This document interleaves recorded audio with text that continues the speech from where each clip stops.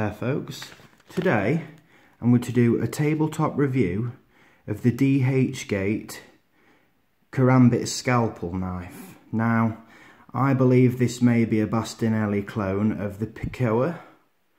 Um, I paid £11.62, which is 15 US dollars. It's listed as being made out of 440C steel. Its Rockwell is 55 to 57. It weighs 28 grams, which is one ounce. Now this is a karambit styled scalpel. So let's take a look. Now I have opened this and fiddled with it, but this is essentially how it comes.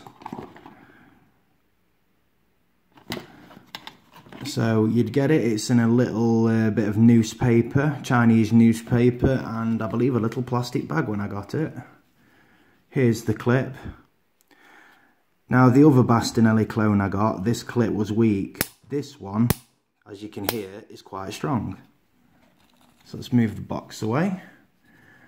Now, as you can see, hopefully I'll get this the right way. Yep, it's the other way around. I'll keep doing this, which is a bit annoying. But yeah, this is how it fits. Now, as you can see, this clip, this is sufficient. I have tried this on a belt and it does do its job unlike the other version. So it can be altered to go all the way up to the top so this sits lower in the waistband. So essentially just a ring will sit in and this is what I would call a scalpel design. So let's take it out and have a look.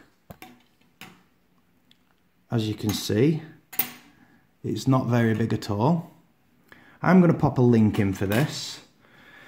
Now, why would you want this?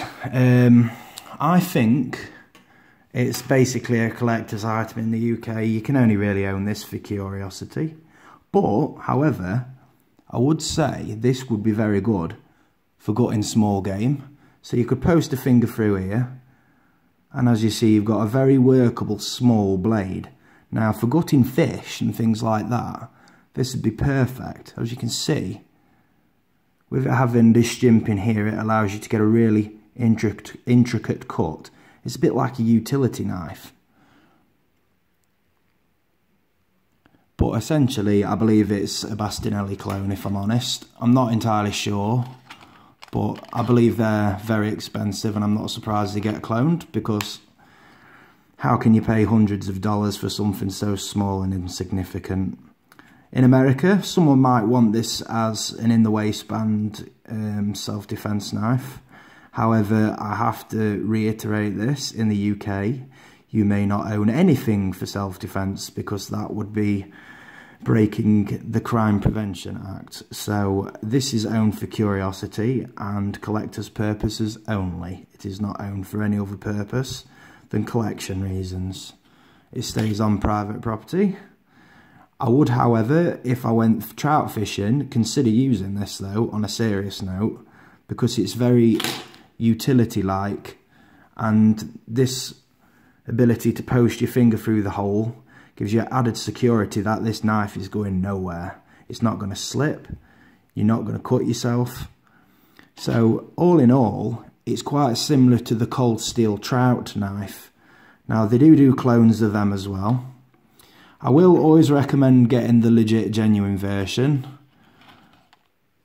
But as we well know, on AliExpress and DHgate, they clone everything under the sun. Um, this was from DHgate, as I previously mentioned.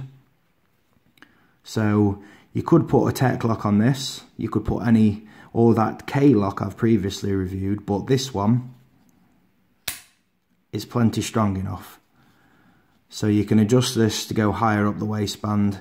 So essentially that is the only bit that will be sticking out of your waistline.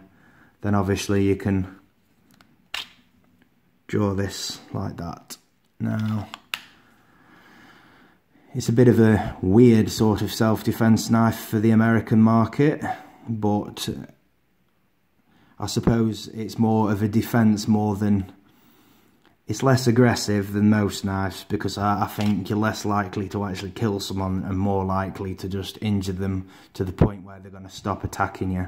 Now, I will mention this one more time. That statement is only directed at the American market because they are allowed to use things for self-defence. In England, this is just for probably small game prep and as a collector's item only. So, I shall pop the link in the description. Thanks for your time. Please follow all your local knife laws of your area. I am not responsible in any way for what you do. Okay, so if you like knife reviews, please like and subscribe.